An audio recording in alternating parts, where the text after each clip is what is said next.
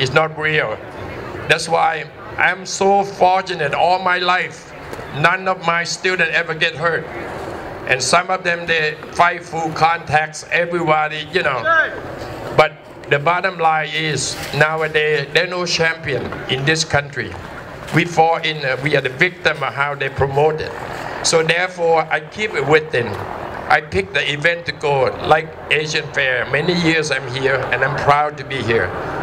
With Jack and all these people behind there, they make a difference. They all volunteer. Okay, we're gonna work on the front kick, and Nick can do uh, maybe uh, Toma do front kick with Jane, move around, and when you call, this is the front kick that what I'm talking about. Front kick. Yeah, and move. Next meeting, move. Nick just touching it. He's strong.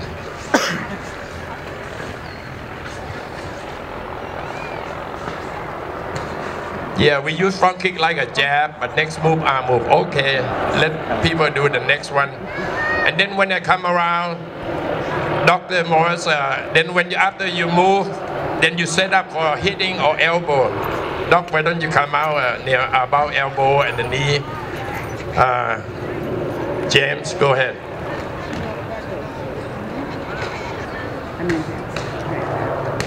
Elbow, very dangerous. You can practice that, but the key is you set it up. You not just walk there to knee people. Your knowledge is the movement. When to do, when not to do.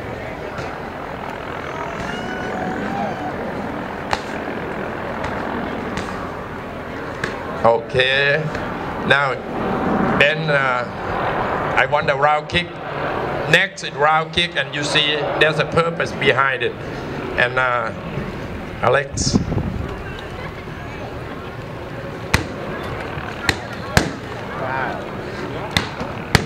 See Ben, he look heavy, but he's flexible.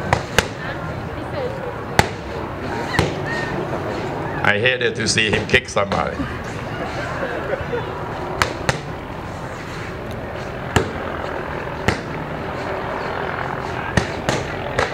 See Jane, she weighed only less than 120 and she